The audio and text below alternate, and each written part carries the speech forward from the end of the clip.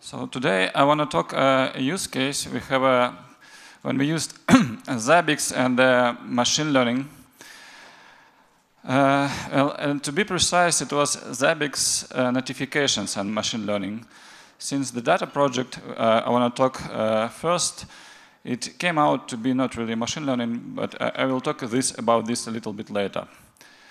Uh, I actually would like to tell a lot about machine learning in our company, but you know it's five minutes, and we do a lot of interesting tasks like we uh, deal with computer vision, uh, smart parking, uh, face recognition. Uh, we have our own uh, school for machine learning for students and young professionals.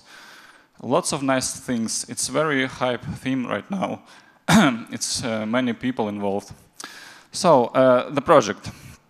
Uh, we use Zabbix for eight years uh, as our primary monitoring system.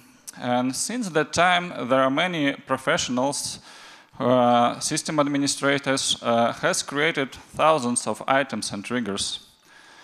And uh, it, it, has been always um, a process of uh, creating new items and triggers and figuring that some of them are not correct and cleaning them so uh, by the moment we uh, fixed all problems with our uh, Zabbix and uh, get high NVPS, as like we told yesterday, our monitoring team has become overwhelmed by some amount of uh, notifications.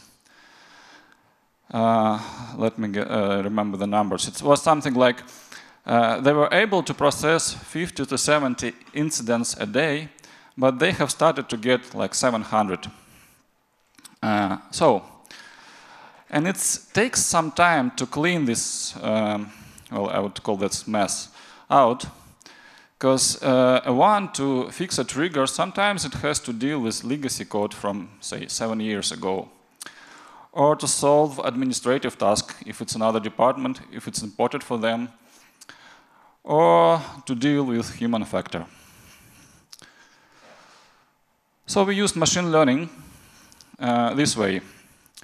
We took our data about all the incidents or problems in Zabbix terminology and uh, uh, feed it to uh, machine learning and it started to predict that a newly created problem will require some uh, real human attention or it will uh, be uh, closed by an, some bulk processing or automatical means by monitoring team. So we were able to prioritize problem depending on that.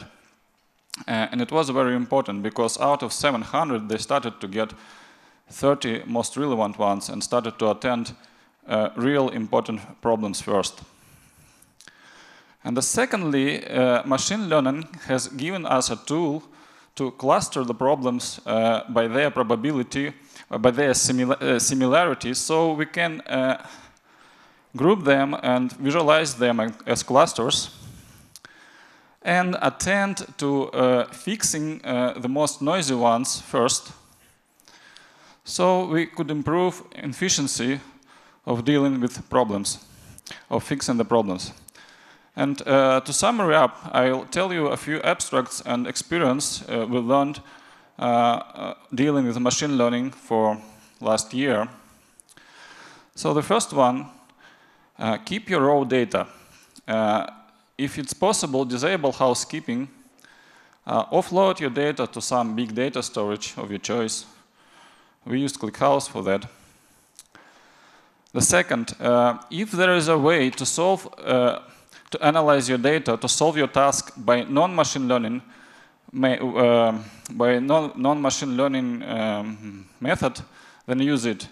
Uh, mathematics, algorithms, logic, statistics, if they work, they work much better. They give 100% 100% precision.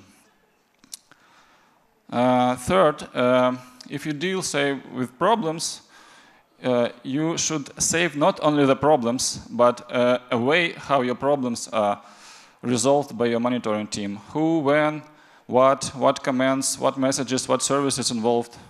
Whatever uh, attributes there are, you should keep them. And the fourth, um, you need quite a good amount of data to start with machine learning. But when you have it, um, you will have a chance to uh, be able to get some new insights from the data and to probably automate some routine tasks. Thank you very much.